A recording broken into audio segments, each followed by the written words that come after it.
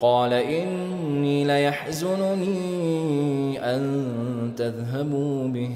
وأخاف أن يأكله الذئب وأنتم عنه غافلون